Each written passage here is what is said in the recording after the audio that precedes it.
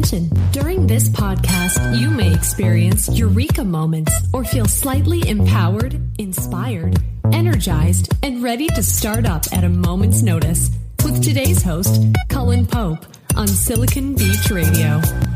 Welcome to the Melbourne Silicon Beach podcast.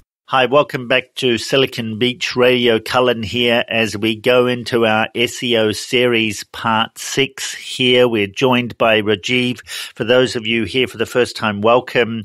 If you want to go back to part five, you can get more details on Rajiv's work. He's been working in SEO for 17 years. And so, Rajiv, uh, the last time we were together, we were uh, talking about keywords, uh, really keyword strategy, I suppose is what I would call it. What are we going to be talking about now when we look at, um, I guess, part six of this SEO series? In this part, uh, we would be looking more at mobile, mobile optimization, how Google ranks a website on mobile, etc. Okay, brilliant. Now, we did touch briefly on uh, mobile, I guess, in part five. But when we think about, I don't know, when I think about mobile, I can always remember, you know, going to my friend's house and saying, you know, this is many years ago and going, look, you know, I've got a new website and then sort of bringing it up on the mobile. it just looked awful and thinking, oh, wow, disaster and having a good laugh about it. But of course now, you know, you know, it's terrifying to do such a thing. Do you want to just tell us a little bit, I guess, how did we get here? How did we get to, uh, I guess, what you're calling mobile first or, or what is known as the mobile first index is a good place for us to start? Yes, I think it was 2016 when mobile searches overtook desktop searches.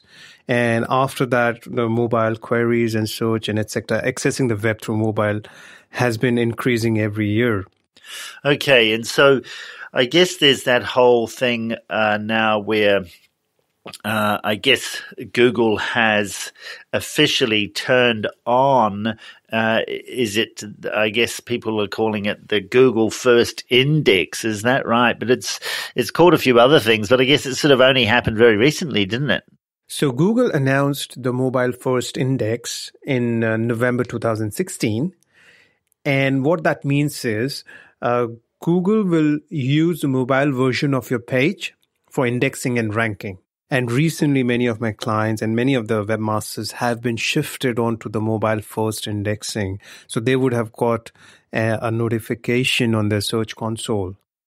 Yeah, I have seen that actually for a couple of mine, uh, which was encouraging, I guess. And also, I know that when you're in Search Console now, you can ask Google to fetch as mobile as well.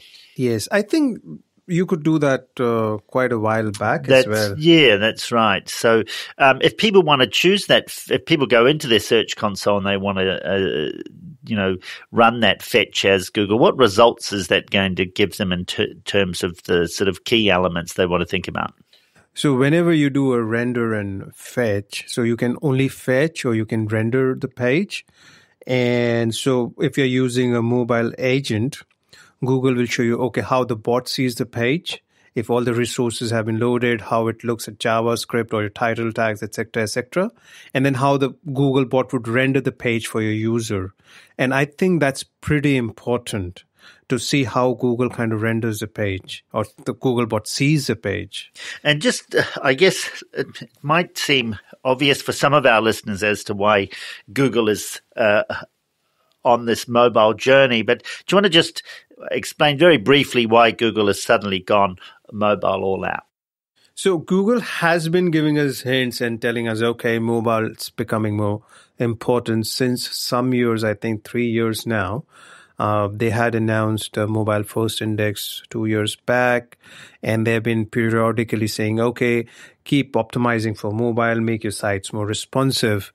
And we have seen an explosion in uh, mobile phone usage and the speeds have gone really high. The internet speed 4g etc so everyone is able to access the internet through the mobile devices now.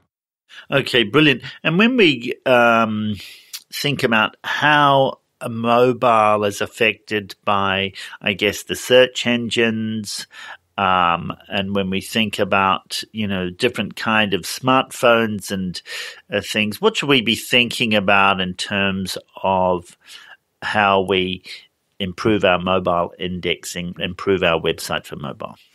A couple of things. So, speed is one of the key factors now. And uh, Google had said, I think, a couple of months back that in July there would be a big speed update. And so now your mobile, so speed was already a factor uh, in search rankings for desktop, but now it has become a factor on mobile sites as well. And so your speed has to be really good because people might not have good connections. And if you don't have good speed, besides Google downgrading your rankings, you might have a very high bounce rate. And so I guess, um, you know, there's some huge changes now that are occurring because I guess for some people, let's say that your website was uh, reasonably well put together and your website was easy to navigate and Google loved all the technical aspects of your website and you had great content and keywords and images and videos and you got all of these everything, things, yeah. everything yeah. right. But your website's slow because your hosting is is questionable. Um, I guess that must be happening to people as well at the moment with part of this. Do you want to explain to people where hosting fits into the speed story? Fantastic question, Cullen. So, hosting plays a critical role in your website speeds. A good hosting, a fast host, will ensure that your website loads up in under a second. A slow host will load up your website in, say, three to five seconds. So, the slow website speed would definitely affect your rankings and also your user experience because many of your users will bounce back. They will not wait for the page to load, and that will have an indirect effect on your SEO as well.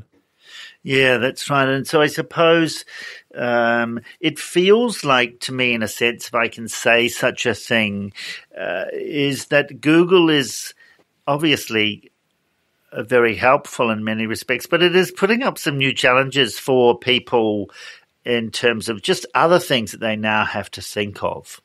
Yes, I agree with you. Uh, the challenges have always been there with SEO and trying to rank your website. And and I think uh, it's always been challenging for small and medium businesses because the big ones have enough money to hire technical SEO consultants and throw money on content and link building etc but the small businesses and startups have always struggled. And obviously as we go mobile as the number of devices have increased the complexity has definitely increased.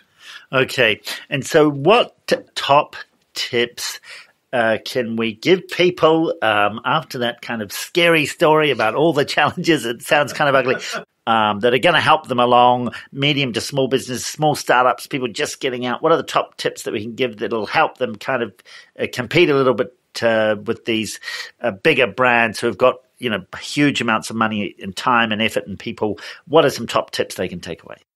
So the easiest and the top one would be whenever you are uh, making a website or you're using WordPress, get a responsive theme. So most of the themes would say their themes are responsive or not. Uh, it is very crucial to have a responsive theme to start with.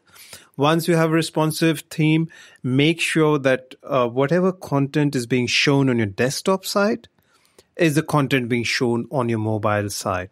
So say if you decide to hide certain key content on your mobile site because of say UX or some other consideration and your website is on mobile first indexing, Google will not be aware of that content and that will negatively affect your rankings.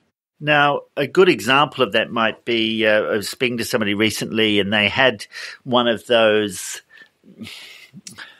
I guess those kind of popular new websites a lot of startups have got where there's a little video moving around the background yeah. and it all looks kind of uh, pretty uh, I know what I, you're saying. Yeah, you're kind of drawn in by these amazing images, all this incredible video, of people drinking lagers in the background. You go, "Hey, that looks fun. I want to, I want to work for that company."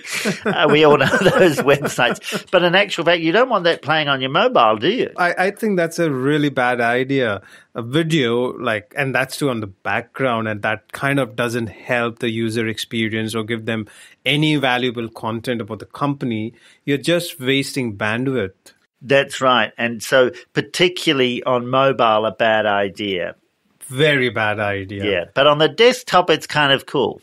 Uh, look, I'm not that f- big fan of videos playing in the background. I would still have a decent sized image. So image can be compressed and you might get a good image for say 40 kilobytes. Yeah, But, okay. a, you know, a video would be a couple of megs. Yep, sure. So even one or two meg Yep. makes a big difference how your website loads up. Yep, absolutely. So let's talk about that briefly because I know with mobile um, image compression, video compression, huge now.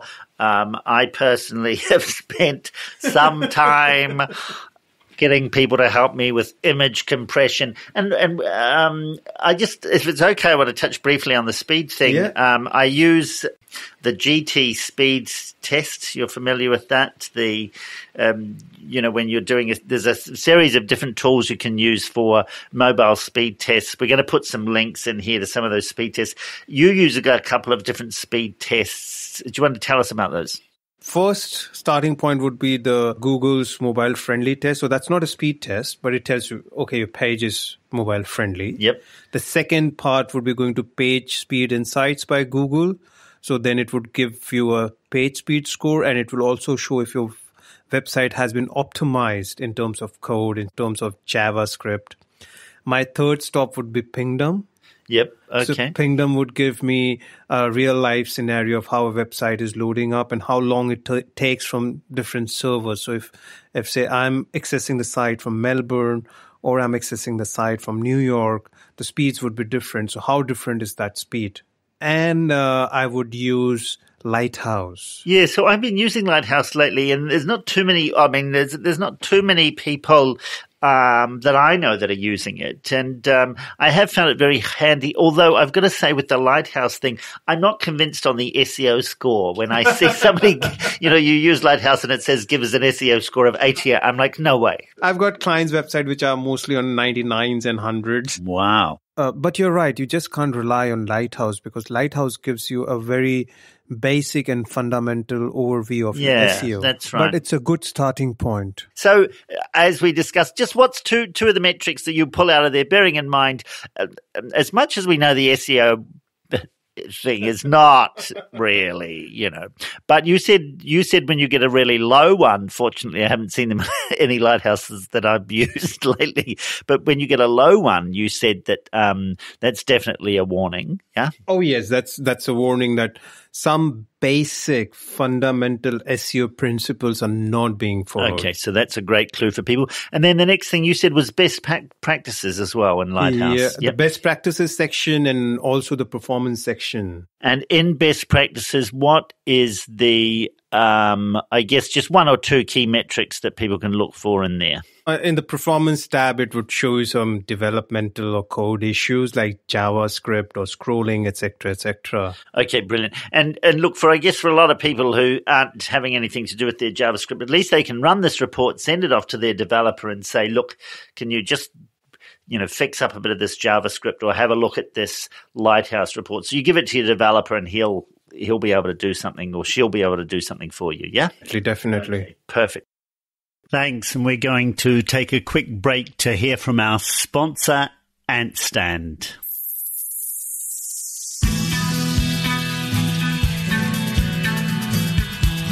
Introducing AntStand, the most portable laptop stand in the world.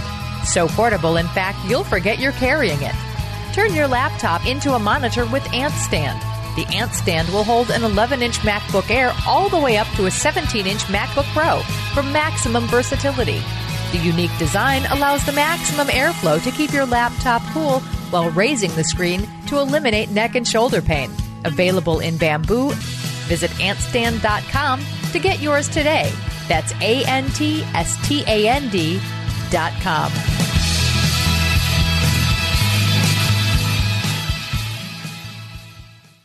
Welcome back, and let's pick up where we've left off.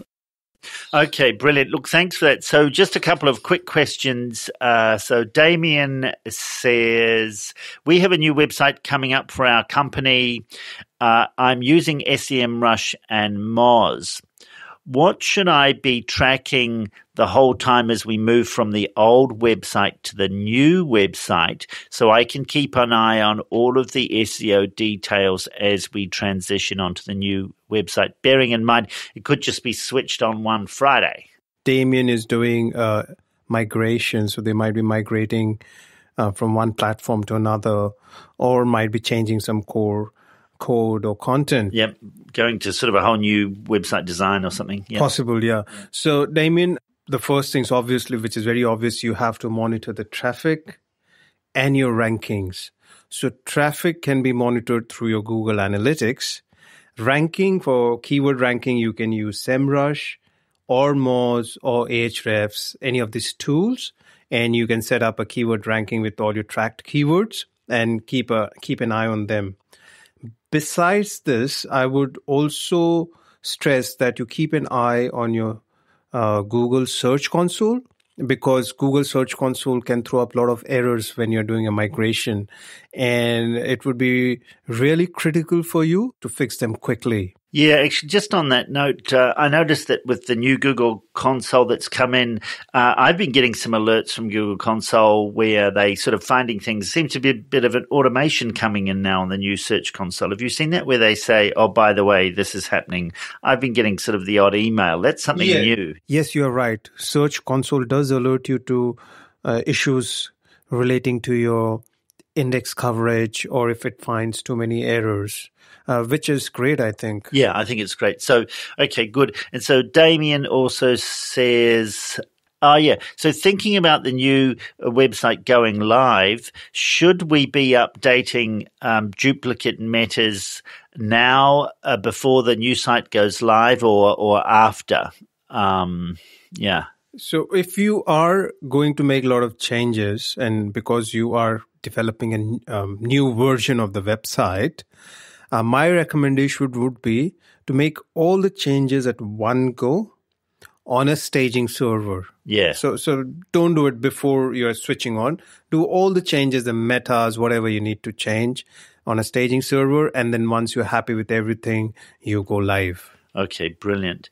Um, and look, Damien's asked another question, but I think we're going to leave that for next time because he's talking about international SEO. Is that okay? Yeah, sure. Okay, brilliant. All right. Well, look, we'll wrap up on that. Just a reminder, Rajiv, where can people uh, find your work, get in touch with you? You can visit my website. That's www.seoauditing, A-U-D-I-T-I-N-G, seoauditing.com.au. Or you can also email me at rajiv, R-A-J-I-V, at seoauditing.com.au. All right, brilliant. So, look, thanks for joining us, everybody. That's the wrap here, um, part six SEO with uh, Cullen and Rajiv. So, just a reminder if you want to send us your questions, you can do that at Cullen, C U L L E N, at eattmag, E A T T M A G dot com. Send us your questions and uh, we'll come back to you as soon as we can. If we can't answer some questions at the time because we've received them after the podcast has come out, we're going to try and post them in an update into the post that goes out with this. Just a shout out to everybody reminding you that uh, Silicon Beach is also streaming, Silicon Beach Radio streaming live on uh, the first Thursday of every month. That is at 6.30 p.m. Melbourne Australian time. And you can get more details of our work on our new website, which is Silicon Beach Oz. That's O z.net. And uh, from that website, you'll be able to log in with your meetup.com login and create a profile. There's some work going on around that website at the moment. So just um, wanted to make you aware of that. And we look forward to you catching us next time. So thanks for joining us, Rajiv. Thank you, Cullen. Cheers. And we're going out with a track called Humid, one of my favorite tracks to come out of the Jimmy Yucca Band. And you can get details on jimmyyucca.com. Some great tracks there, particularly if you're working around, if you're at your desk, you want to stand up, jump around, you can jump around to the side of track. So thank you very much to jimmyyucca.com. And thank you to our supporters. Thanks for looking after us, and we'll catch you next time. Cheers. Cheers.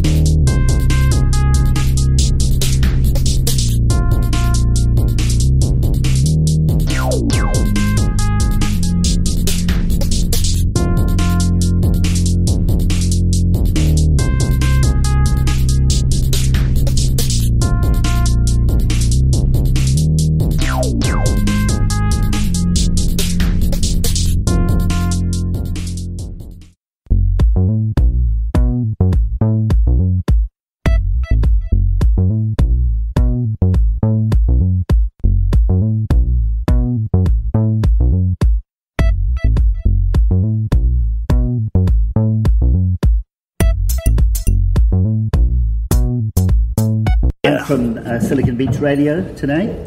Oh. I'm glad a tulu This wasn't makes so much more sense now. That's what we're speaking on. here. Yeah, Silicon Beach has radio? yeah. Wait, you're recording. This is part of it. Silicon Beach also has a business model and Sure sponsorship. can't hear this bit.